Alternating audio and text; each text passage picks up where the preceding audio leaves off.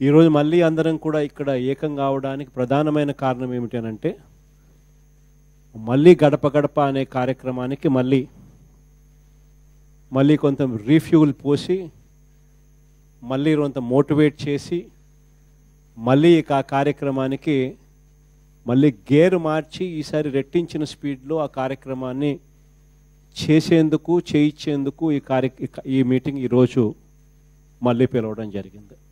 ఈ మధ్యకాలంలో చంద్రబాబు నాయుడు అనే వ్యక్తి మాటలు చూసిన కొన్ని కొన్ని అపోహలు ఉన్నాయి కాబట్టి బుర్రలోకి అవి క్లియర్ చేయడం కోసం ఈ మాటలు మాట్లాడాల్సి వస్తూ ఉంది. మొన్న ఈ మధ్యకాలంలో ఎమ్మెల్సీ ఎన్నికలు జరిగాయని చాలా గొప్పగా ఏదో మాట్లాడుతూ వచ్చిన. ఇరవై ఒక్క స్థానాలకు ఎమ్మెల్సీ ఎలక్షన్ జరిగితే అందులో పదిహేడు స్థానాలు మనం గెలిచినాం. సరే ఆ గ్రాడ్యుయేట్ ఎమ్మెల్సీ ఎలక్షన్లకు ఒకసారి విషయానికి వస్తే అది కూడా అందరికీ కొన్ని కొన్ని విషయాలు తెలిసి ఉండాలి ఎందుకనంటే మనం యుద్ధం చేస్తూ ఉన్నది మారీచులతో యుద్ధం చేస్తూ ఉన్నాం. ఉన్నది లేనట్టుగా లేనిది ఉన్నట్టుగా భ్రమ కల్పించే మారీచులతో యుద్ధం చేస్తూ ఉన్నాం.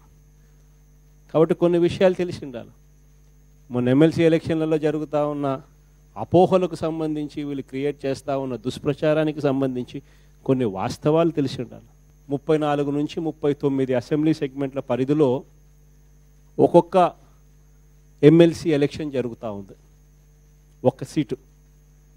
ముప్పై నాలుగు అసెంబ్లీ సెగ్మెంట్లు ముప్పై తొమ్మిది అసెంబ్లీ సెగ్మెంట్లు అంటే ఒక్కొక్క అసెంబ్లీ సెగ్మెంట్లో కనీసం రెండు లక్షల ముప్పై వేల నుంచి రెండు లక్షల అరవై వేల ఓట్లు రెండు లక్షల డెబ్బై వేల ఓట్లు యావరేజ్ కింద వేసుకున్నా కూడా అప్రాక్సిమేట్లీ రెండున్నర లక్ష ఓట్లు వేసుకున్నా కూడా ఎనభై లక్షల ఓటర్స్ జనాభా కాదు.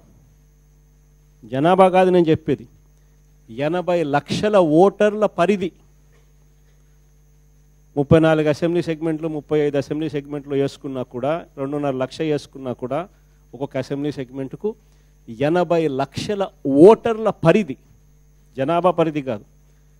ఎనభై లక్షల ఓటర్ల పరిధి. ఆ పరిధిలో ఎనభై ఏడు శాతం అక్క చెల్లెమ్మల కుటుంబాలు మన కుటుంబాలు ఉన్నాయి నేరుగా మనం బటన్ నొక్కుతా ఉన్నాం నేరుగా మంచి జరుగుతూ ఉన్న కుటుంబాలు ఉన్నాయి అలాంటిది ఎనభై లక్షల కుటుంబాలలో కేవలం రెండున్నర లక్షలను మాత్రం అలా పికప్ చేసుకొని ఓటర్ల కింద నమోదు చేసే కార్యక్రమం. సో ఇది ఏ రకంగా రిప్రజెంటేటివ్ శాంపుల్ అంటే రాష్ట్రంలో ఉన్న రిప్రజెంటేటివ్ శాంపుల్ ఏ రకంగా ఉంటుంది? ఏ రకంగా అవుతుంది? It is not a representative sample రాష్ట్రంలో ఉన్న ఎలక్టోరల్ రిప్రజెంటేటివ్ శాంపుల్ ఏదైతే ఉందో అది ఈ ఓటర్ బేస్ రిప్రజెంటేటివ్ శాంపుల్ కాదు. ఇది ఒకటి ప్రధానమైన అంశం. రెండవది ఏమిటనంటే ఒకటో ప్రాధాన్యం రెండో ప్రాధాన్యం మూడో ప్రాధాన్యాలు. అందరూ కలిసినారు. మనమేమో ఒక్కళ్ళమే. సో ఇన్ని పార్టీలు ఏకమై ఒకటో ప్రాధాన్యత రెండో ప్రాధాన్యతలు. తెలుగుదేశం పార్టీ ఒకటో ప్రాధాన్యత ఓటులో గెలిచింది కాదు అయినప్పటికీ కూడా. ఎనభై ఏడు శాతం జాబితాలో వీళ్ళు రిప్రజెంటేటివ్ శాంపుల్ కానప్పటికీ కూడా తెలుగుదేశం పార్టీ స్ట్రెయిట్గా ఫస్ట్ శాంపుల్లో గెలిచిందే లేదు. రెండో ప్రాధాన్యత ఓటు ట్రాన్స్ఫర్ కావడం వల్ల ఇంతమంది ఏకం కావడం వల్ల రెండో ప్రాధాన్యత ఓటు అన్నది కూడా ఉంది కాబట్టి జరిగింది వాస్తవం. సో ఇది ఏ రకంగానూ కూడా ఎఫెక్ట్ కాదు. అయినా కూడా ఒక వాపును చూపించి అది బలం అన్నట్టుగా చంద్రబాబు నాయుడు ప్రొజెక్ట్ చేసుకోవడం దానికి తోడు ఈనాడు రాయడం దానికి తోడు ఆంధ్రజ్యోతి రాయడం దానికి టీవీ ఫైవ్ చూపడం. ఇవన్నీ కూడా చూస్తూ ఉన్నాం. రాబోయే రోజుల్లో ఇవన్నీ ఇంకా ఎక్కువగా కూడా కనిపిస్తాయి. కాబట్టి మనం ఇంకా అలర్ట్గా ఉండాల్సిన అవసరం ఉంది. కాబట్టి ప్రతి ఊర్లోనూ ప్రతి నియోజకవర్గంలోనూ చెప్తా ఉన్నా. సంవత్సరంలో మళ్ళీ ఎలక్షన్లు జరుగుతూ ఉన్నాయి. కరెక్ట్గా ఈ పొద్దు ఏప్రిల్ మీకు అందరికీ గుర్తుండే ఉంటుంది. ఏప్రిల్ పదకొండో తారీఖున మనం ఎన్నికలు జరిగాయి. అంటే కరెక్ట్గా చూస్తే సంవత్సరం పాటు టైం ఉంది. మళ్ళీ క్యాడర్ని యాక్టివేట్ కావాలా?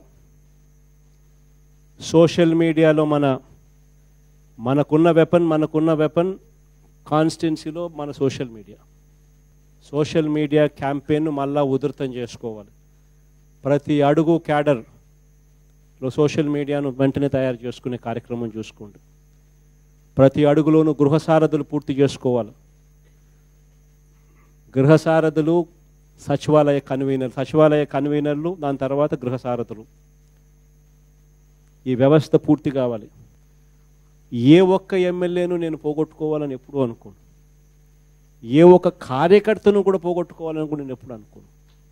కాబట్టి దయచేసి ఇది ఎప్పుడు అందరూ గుర్తుపెట్టుకోండి. నేను ఇంతగా ఎందుకు కష్టపడుతున్నానో ఎందుకు ఇంతగా మీ గురించి మీకు ఎందుకు ఇంతగా మిమ్మల్ని అందరినీ పిలిపించి ఎందుకు చెప్తున్నాను అని అంటే కారణం మీతో పని చేయించడం కోసం. కారణం మీరు మళ్ళీ గెలిచి రావాలనే తాపత్రయం తాపత్రయంతో చేస్తూ ఉన్నా. కారణం మీతో పని చేయించి మీరు ప్రజల్లోకి వెళ్ళి ప్రజల్లో మీ గ్రాఫ్ పెంచి మీరు మళ్ళీ గెలిచి నా దగ్గరికి రావాలనే ఉద్దేశంతో చేస్తూ ఉన్నా. ఈ అడుగులన్నీ కూడా వేసి దానికోసం వేస్తూ ఉన్నా. ఇది గుర్తుపెట్టుకోండి. ప్రజల్లో మన గ్రాఫ్ సరిగ్గా లేకపోతే మనం ప్రతి ఒక్కళ్ళం కూడా అడుగులు ముందుకు వేసేది మన గ్రాఫ్ పెంచుకునే దానికోసం అడుగులు ముందుకు వేయాలి. ఎందుకనంటే ఇంతకు నేను ఇంతకు ముందు నేను చెప్తా ఎప్పుడు చెప్తా ఉన్నా ఇది కాంబినేషన్ ఎఫెక్ట్ నేను చేయాల్సింది నేను చేయాలా? మీరు చేయాల్సింది మీరు చేయాలి. నేను బటన్లు నొక్కడం ఎట్టి పరిస్థితుల్లోనూ ఆపకూడదు. అది నేను చేయాల్సిన పని. తిరగడం ఆపకూడదు. అది మీరు చేయాల్సిన పని. రెండు కలిసి ఒకటైతే నూట డెబ్బై ఐదుకు నూట డెబ్బై ఐదు ఖచ్చితంగా కొడతామన్నది వాస్తవం. ఈ నెల పదమూడో తారీఖున జగనన్నకు చెబుదామని చెప్పే ఒక పెద్ద ఒక ప్రోగ్రామ్ను కూడా లాంచ్ చేస్తా ఉన్నాం. డైరెక్ట్గా ఎవరికి ఏదైనా సమస్య ఉంటే డైరెక్ట్గా నాకే ఫోన్ చేసేయచ్చు జగనన్నకు చెబుదామని. డైరెక్ట్గా సీఎంఓను ఇన్వాల్వ్ అవుతుంది. ఇటువంటి ఇండి ఇండివిజువలైజ్డ్ గ్రీవెన్సెస్ అన్నీ కూడా పరిష్కరించేదానికి అటువంటి విషయాలలో ఏ ఒక్కరికి కూడా ఆ, విషయాలను కూడా సాల్వ్ చేసే దానికోసం అని చెప్పి ఈ ప్రోగ్రాం తీసుకొస్తా ఉన్నాం. సో జగనన్నకు చెబుదామనే ప్రోగ్రామ్ కూడా పదమూడో తారీఖు నుంచి అది కూడా లాంచ్ చేస్తా ఉన్నాం. సో ఇటువంటి అన్ని చిన్న చిన్నవన్నీ కూడా పూర్తిగా జీరో చేసేస్తాం ఆ ప్రోగ్రామ్తో సో అన్ని రకాలుగా కూడా ఇవన్నీ కూడా జరుగుతాయి.